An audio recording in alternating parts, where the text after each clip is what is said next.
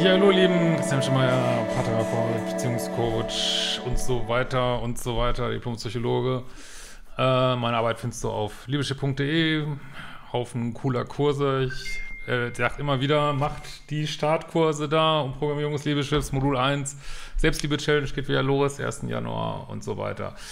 Ja, heute haben wir mal das spannende Thema, so die Tinder-Ökonomie und die Frage, ähm, ja, stehen Männer wirklich nur auf Looks ähm, und äh, die werden wir jetzt aber nicht allgemein beantworten. Ich denke schon, dass Männer viel auf Looks, also schon, äh, wie soll ich mal sagen, von der Programmierung her viel auf Looks stehen. Frauen natürlich auch, aber Männer, glaube ich, tendenziell eher noch mehr. Komischerweise äh, zeigt sich aber äh, in so einer kleinen Tinder-Untersuchung ein ganz anderes Bild. Und das, wir uns, äh, das ist wirklich hochspannend aus vielerlei Gründen.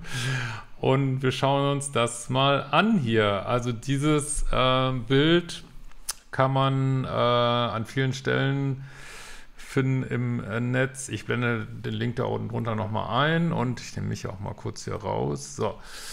Ähm, da kann man jetzt äh, sieht man meine Maus eigentlich? Nee, wahrscheinlich nicht.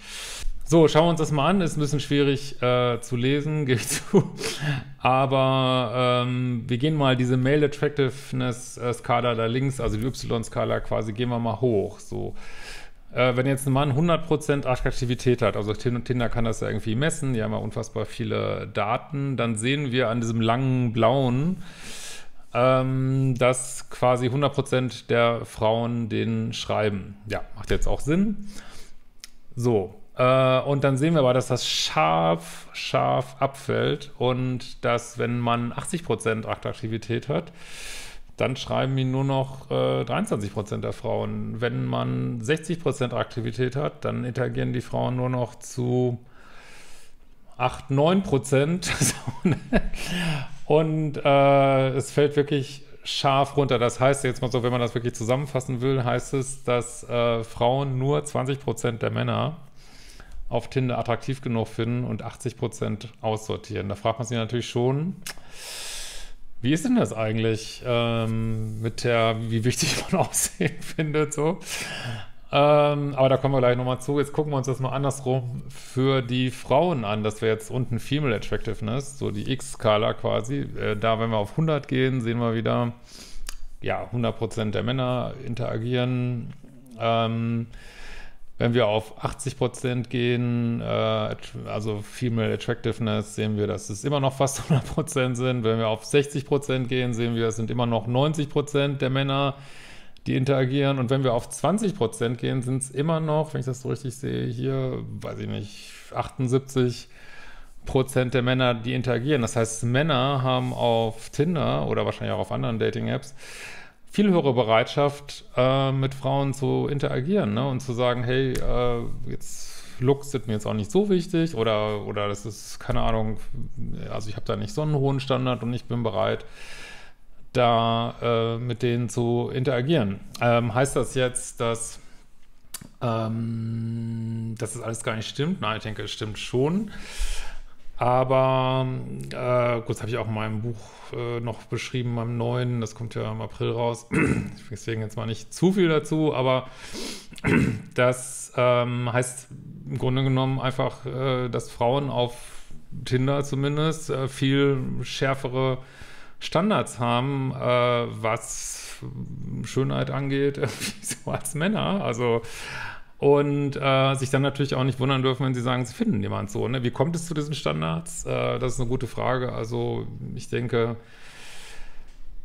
äh, da spielen dann halt doch ähm, eine Rolle, dass, aber da will ich jetzt auch nicht zu sehr darauf eingehen, dass wir das Video, glaube ich, sprengen, dass wir als menschliche Säugetiere eben auch Female Choice haben, so, ne? Und ähm, die Frau sucht aus, der Mann muss sich anstrengen. Ich denke, das äh, sieht man auch hier so. Plus, ähm, dass viele Frauen, glaube ich, das Gefühl haben, boah, ich werde hier ganz schön zugeballert mit Nachrichten und da kann ich ja jetzt ein bisschen pickier sein und, äh, und dann kommt aber sowas dabei raus irgendwie, wo man sich natürlich nicht wundert, dass sich dann nicht mehr viel trifft, ne, weil, also so wirklich, für Männer muss man eigentlich sagen, wenn du nicht in den obersten 20 Prozent bist, kannst du den ganzen Scheiß eigentlich lassen, sollte man gar nicht erst auf Tinder gehen. Das ist aber wirklich sowieso mal meine Empfehlung.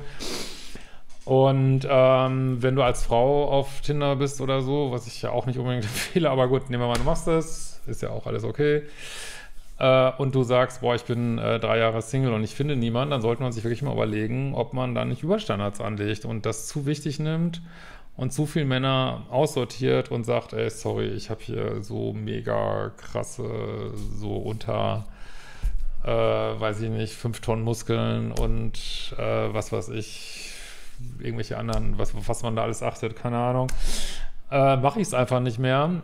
Ähm, ja, dann darf man sich vielleicht auch nicht wundern, ähm, dass da nicht viel bei rauskommt. Also es gibt natürlich viele Gründe, warum man Dauersingle bleibt. Ich will das jetzt gar nicht darauf reduzieren, aber einer unter vielen anderen äh, kann natürlich auch Bindungsangst und was weiß ich, ganz viele Faktoren reinspielen. Aber ein Faktor ist eben manchmal auch Überstandards, ne? dass man einfach sagt, boah, nee, also ich lege die Latte jetzt ganz hoch. Darf man natürlich, also ich bin ja auch immer für hohe Standards.